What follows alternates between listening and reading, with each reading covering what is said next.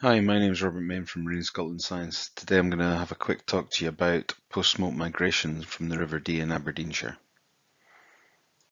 Today we'll cover what the drivers are for Marine Scotland in tracking post-smolts from the Dee, how we capture and tag the smolts, the results from the work over the past five years that we've done, um, and I'll show some particle tracking data that we're trying to marry up with the real data that we've gathered.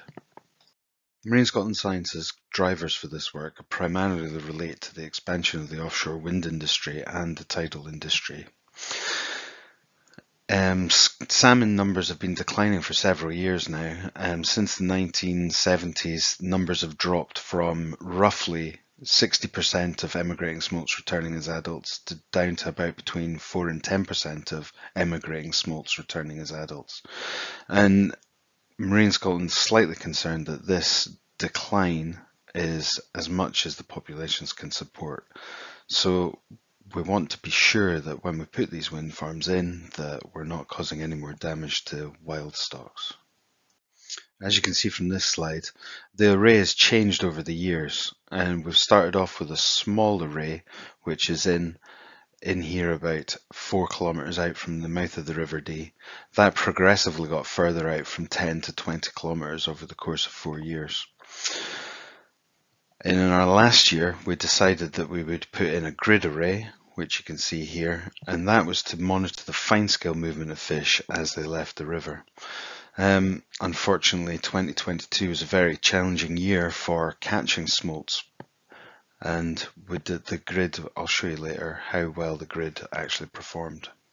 Capturing smolts in the river can be a real challenge and the two methods we used to catch them were fyke nets and rotary screw traps.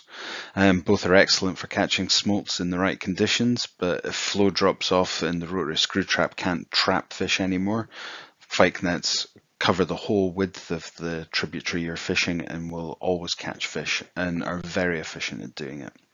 How do we tag these fish in the field? Well, we catch them out of the river in the buckets, keep them aerated and healthy, um, implant tags in them under general anaesthetic and put them back into recovery as soon as we can and they are released into the river after two hours from tagging. If we start drawing down on some of the data we get from these tags, um, we can see here the progression over distance downstream from Dinnet, which is where one of the furthest up tagging stations was. And we can see the declines in tag detections through the river as they progress down to sea. The dotted line indicates leaving the harbour and the seaward side of that line is between 80 and 100, 100 kilometres from where fish were tagged. We did see some predation events in the data, and here's one that's definitely a predation event where the tag temperature jumps up to 37 degrees. This is either a mammal or a bird, so that's quite exciting to see in the data. And we also saw some possible predation events where tags have dived to depths that we haven't seen in any of the other fish that we've, well, any of the other tag transmission data that we've seen. So we, we think these two fish might have been predated by marine fish. If we move on to the directional data from the tags, we can clearly see here that while we're expecting these smolts, post-smolts now, they're into the sea, to head all the way up to Norway to their feeding grounds that we traditionally associate with smolts, we can see that as they leave the River Dee, they they certainly aren't heading north or even northeast. They're more southeasterly in their direction. Um, between curtain, between the harbour, the end of the harbour and curtain A, they're heading almost due east, and we thought, okay, well that's exactly where we'd expect them to go. Really, they're looking to get out of the river and go away and get started on their migration. But then from the curtain A to curtain C and to curtain D, the fish dramatically change course and head almost southeast, which is really was really quite unexpected in this data. Um, there's obviously a spattering of them around, but those are the average bearings that they were taking. Really, really counterintuitive. Here we can see the results from the grid. Um, very disappointing, really, that we couldn't catch more fish on the Dee to get a really good understanding of what they do in the nearshore area. And next we can see what we're trying to do with the particle tracking for this.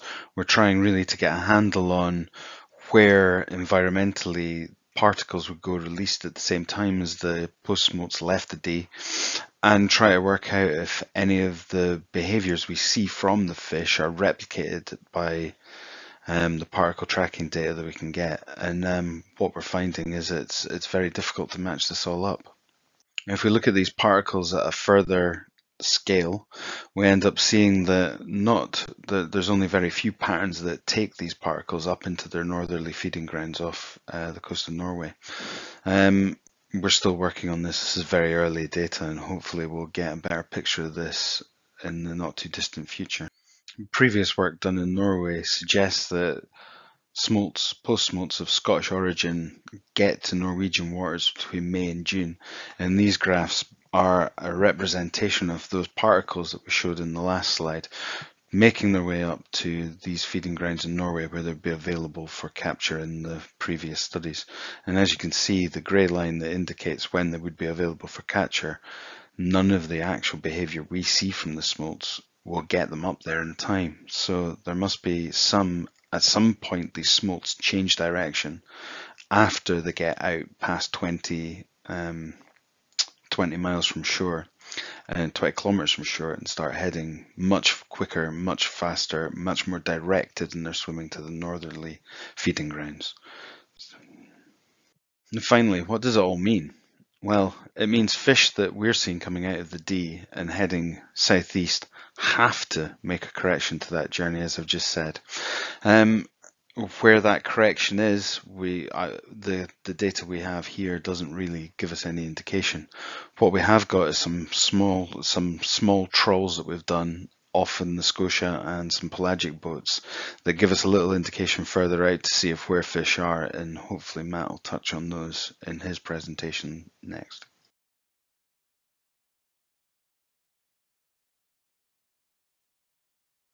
Hi, I'm Matt Newton from Marine Scotland Science. I'm going to give you a brief overview today of some epipelagic trawling undertaken by colleagues Robert Main uh, and Ross Gardner. And this trawling was focused on trying to catch salmon and sea trout smolts uh, in the marine environment, and it involved towing a large net. You can see this going out here out the back of the trawler, and the surface floats at the back. You can see it being towed along uh, along the surface. Uh, this is it's a very large net. Requires some fairly big vessels to be able to actually tow this along around about three knots.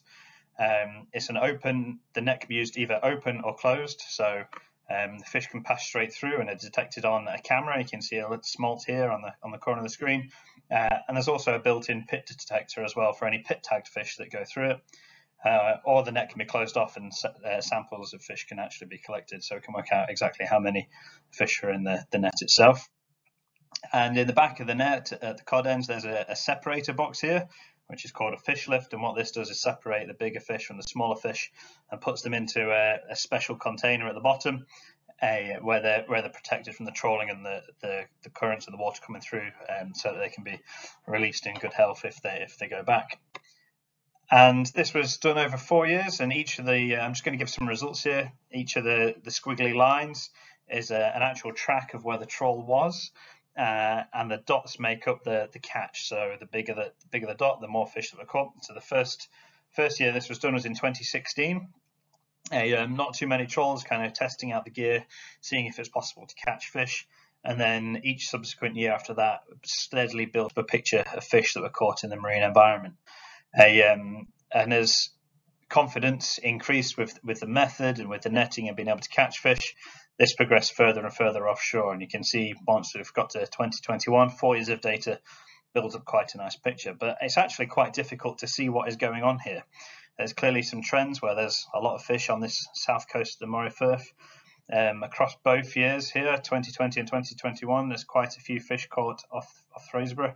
And again, a smattering of fish up the coast here itself. But what we actually wanted to do was to change this into something slightly more meaningful. So we calculated CPUE, catch per unit effort, and that was basically by gridding the sea into 10 kilometer by 10 kilometer grids and dividing the number of smolts caught in those grids by the number of trawls in those grids. And so then each uh, grid space was be able to give it a CPUE.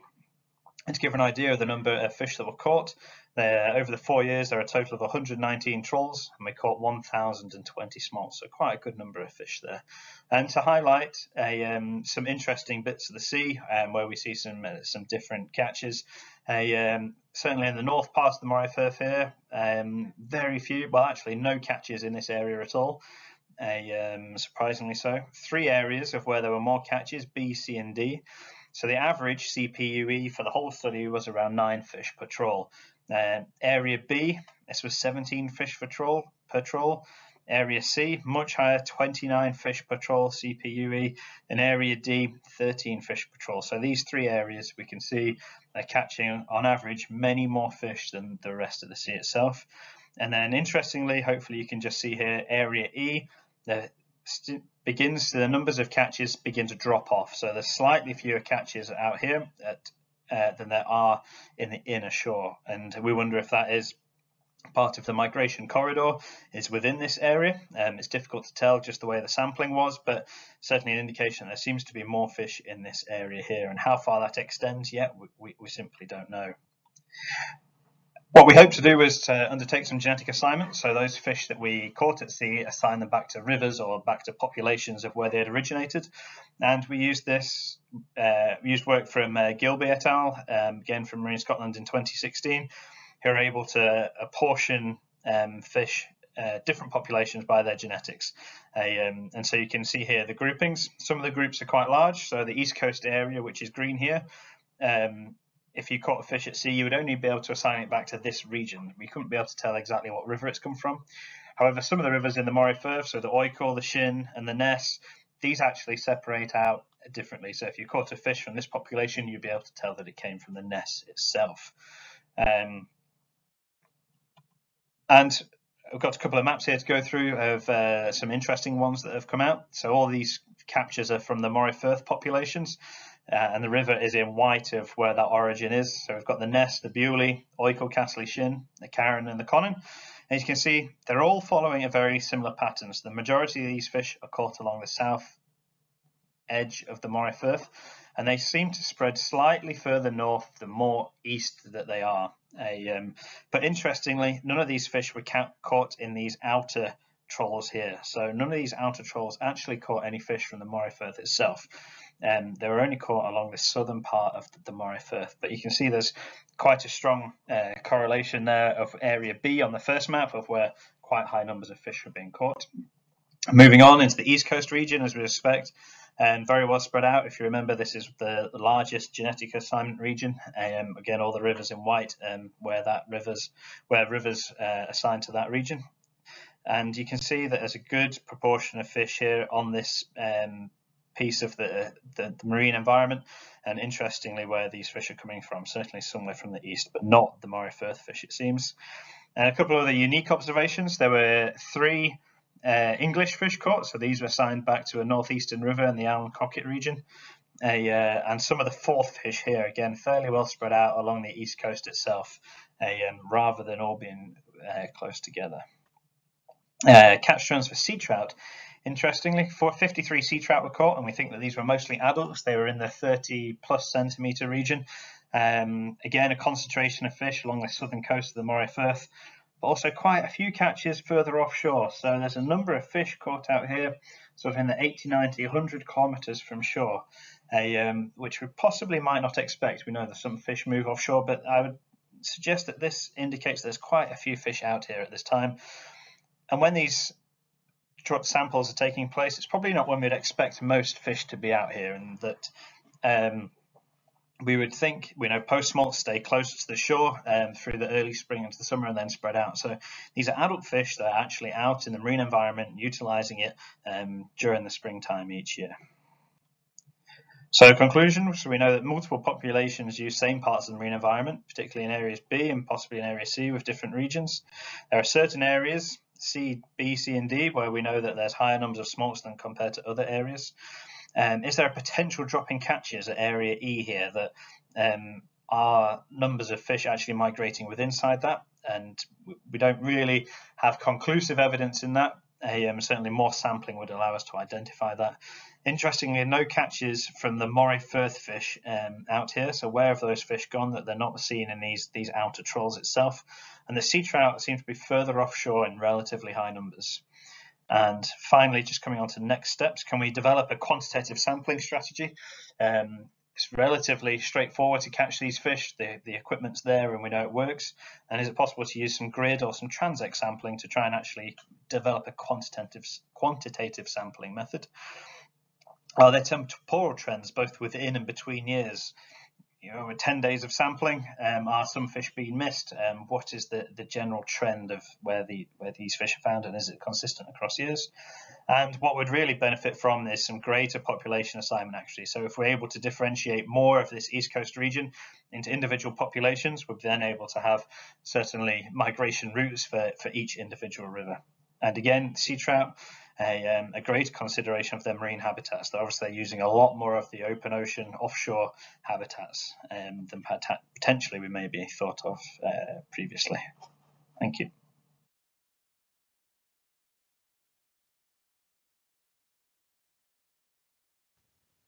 Hi, I'm Lyndsay and I'm a Policy Manager in the Wild Salmon and Recreational Fisheries team within Marine Scotland. And today I'm going to talk about the Wild Salmon Strategy which Scottish Government published last year. Wild salmon are an iconic species to Scotland, but unfortunately their populations are in decline. So the graph on the left here shows the total rod catch of salmon since the 1950s, and since a peak in 2010 the numbers have been in decline. In slightly better news, the red dotted line shows um, the percentage of catch and release, so that's salmon that are caught and then released back into the river. Um, that has increased rapidly and is currently at about 95% of total catch. And just to kind of reiterate the importance of salmon uh, to Scotland, they provide economic value through jobs, through angler expenditure, but they also have environmental benefits such as nutrient cycling and supporting freshwater pearl mussel populations, and the wider social benefits um, of angling, which are you know quite difficult to quantify, but they, we know they exist. So the reason for wild salmon declines is complex, and there's not one single factor responsible although we do recognise climate change as a significant driver of decline. This diagram here shows a range of some of the pressures affecting wild salmon and the strategy goes into detail about each of these pressures individually. So I'm not going to cover them all today. However, just to point out a few, you've got exploitation from illegal fishing and poaching, um, predation from um, fish-eating birds and seals, um, obstacles to fish passage which prevent salmon getting up and down rivers, um, and water temperature, when the temperature exceeds 20 degrees, um, salmon struggle and above 23 degrees um, they experience thermal stress and that has been happening more often um, in recent years so it's quite concerning. So now we'll talk a little bit about the wild salmon strategy which is why we're here today. So why did we produce this? So Scottish Government identified that wild salmon conservation was a priority due to the declining numbers so it was a programme for government commitment to produce this strategy. What actually is it? Well, it's a high level document that sets out the vision, outcomes and the themes for action that we need to take to protect wild salmon. Who does it belong to? So it's a Scottish Government led strategy, but it was developed in close collaboration with a wide range of stakeholders on a stakeholder advisory group, including non-governmental um, organisations, government agencies and industry. And how will it actually improve the things for wild salmon? Well, we will follow this up with a detailed strategy implementation plan which will set out in detail the actions we need to take and also just provides us with some leverage um, to you know, make improvements in the round for wild salmon. So the first thing the strategy does is sets out our vision for wild salmon and that is to have flourishing populations of wild salmon in Scotland um, as an example of nature's recovery. Now there are places where this has already happened, um, so in the Clyde for example, there's now some salmon um, in rivers where there hasn't been for over 100 years and that's due to river restoration projects. However, we want to see this same um, thing happening across Scotland. So the strategy is broken into five priority action areas and I'm going to cover them all in detail in the following slides, but here they are sort of summarised um, briefly in a diagram uh, format. So the first theme is to improve the condition of rivers and give salmon access to cold clean water. Now they spend a lot of their life in rivers, um, both at the start and the end of their lives, and it's an area that we can make a lot of change in because it's within Scotland. So important actions here include removing barriers that are impassable for fish or where that's not an option, um, easing barriers. We also want to improve water quality by working with landowners, farmers and other industries to reduce pollution and reducing river temperatures by planting trees on riverbanks and all of this will improve the river habitat for salmon. The second area is managing exploitation. So although salmon angling is very important for Scotland um, for you know the economic benefits, there's also a lot of illegal fishing and illegal activity that goes on as well. So it's a very heavily regulated area. We have the salmon conservation regulations which assess salmon populations in all areas every year and set where catch and release has to happen. We've also got other legislation which um, prevents the sale of rod caught salmon and bans coastal netting as well. But as part of the strategy, we want to kind of do more here. We want to review some of the enforcement powers and penalties and increase the awareness of wildlife crime. The third area of importance is understanding the marine and coastal pressures. So salmon migrate from rivers out through the coastal zone and off into the North Atlantic. And here they experience a lot of pressures as well, so whether that's marine renewables, aquaculture or fishing but a lot of these pressures are unknown in terms of impact. This is something that we want to focus our efforts on in improving the knowledge base and the evidence that we have for these pressures so that they can be tackled more appropriately. We also then have a focus on international collaborations. So salmon spend a lot of their time outside of Scottish waters, so we need to collaborate with these international forums such as NASCO, ICES and OSPAR to make sure that we're all working together for the benefit of wild salmon in Scotland and, um, and beyond. And the fifth and final area that we focus on is to develop a policy framework. So a lot of the legislation is based on very sort of old legislation and it's something that we're looking at options for how we can bring that um, into kind of a more modern framework. Um, we can't say a lot about that at the moment because a lot of it's uh, not been decided yet, but that's that's a key pillar that we're also looking at doing. And underpinning all of this is science and evidence. So, you know, we need to understand salmon populations, we need to understand the impact of these pressures, we need to understand how our mitigation strategies and management strategies are making a difference. So science is really important here, whether that's done by government, agencies, industry, academia, um, you know, we need to have a coordinated kind of one Scotland approach here to make sure that we can answer the questions that we need to answer to protect wild salmon. And just to briefly link this all back to ScotMER, how does this tie into the wild salmon strategy? Well, marine renewable developments are one of the pressures on wild salmon and we don't know a lot about this, so ScotMER have done a lot of work to identify where the evidence gaps are and project ideas to fill these gaps. So examples here are what routes do salmon take on their migration? Do they pass developments? Is there an increased risk of predation? Um, are there disruptions to electromagnetic fields that affect fish migration? And hopefully through ScotMER we can answer some of these questions and improve the way that we manage um, salmon populations and marine developments. And just to really quickly summarise, wild salmon populations are unfortunately in decline, but we hope that the wild salmon strategy published last year um, will help us to conserve and protect salmon. And one of the key issues is the lack of science and evidence, and we need to make sure that we work with ScotMER um, to fill these evidence gaps.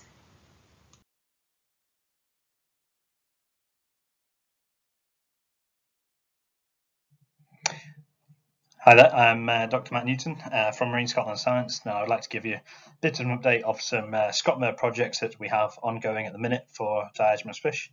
Um, some of these are actually most of these are quite recent and I've just got the funding approved and I've just got going. So hopefully this is a, a, a nice introduction about where we're going next and with ScotMER and some of the projects that hopefully we'll be undertaking. Um, we've got three ongoing at the minute. The first is a uh, basically a literature review um, for diadromous fish, and it's to bring together the review and the current knowledge of future research. We are tagging salmon and sea trout as an addition onto the PrePARED project in the Moray Firth. We've also managed to um, secure some extra receivers to add on to a large West Coast tracking project, which is tracking salmon and sea trout. Just to give a few more details of each of those. So the first one, which is the, the review of the current knowledge and future research of diadromous fish, will review the distribution, movement and abundance of sea of all diadromous fish that we have in Scotland. Um, it will also bring together the evidence for any potential impacts from offshore renewables and also identify if there's any substantial risk of that impact happening on, on diadromous fish. Uh, and then finally, we'll also identify and prioritize future research and monitoring. So where is the best bang for the buck for some research to be taken out, sort of targeting um, areas of the coast or potential rivers or marine environment where we'd be able to undertake some research that would be able to address the majority or most of our evidence gaps. Um, the next, as we you have hopefully heard before in one of the other presentations about uh, PrePARED project, um, which is happening in the Moray Firth. We will be working with Dr. Adam Piper and the Zoological Society London, where we'll be tagging salmon and sea trout um, from the River Wick uh, and or Wester, certainly rivers in that region, in a hope that fish from that area will be migrating out through um, the Beatrice and Moray east and west wind farms, um, where there is a large, an existing large acoustic tracking work um, looking at benthic fish.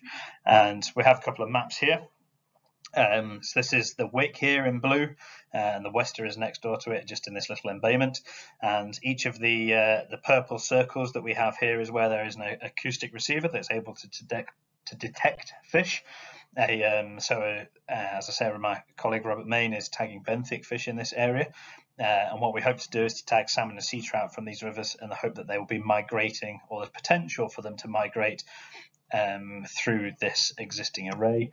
And we'll also be deploying some extra receivers um, so that we know if the fish don't migrate through this array, um, which direction they're going in. And this gives us a, it's essentially a pilot for future years that if fish are migrating through this development or through these wind farms, it, has a enables us to potentially look at impact pathways and investigate more any potential impacts of offshore wind on diadromous fish. And perhaps there aren't any impacts at all, but until we until we've finally until we're able to actually track migrating fish through um, some of these developments, this is kind of at the level of understanding that we are at the moment. And the final project that we have going is some additional receivers for the West Coast, West Coast Tracking Project. This is a large tracking project on the West Coast um, tagging salmon uh, run by the Atlantic Salmon Trust here and you can go on their website and find out more information on the collaborators with that project. And what we are planning to do is to deploy uh, a number of receivers across the north coast here uh, to basically provide added benefit for fish that are migrating either through the Minch uh, up the west coast or from the Outer Hebrides to if they're going through this region here where there's potential for some wind farm developments, just to see if we can get some added value and some increased spatial distribution data on fish further out into the marine environment on the west coast.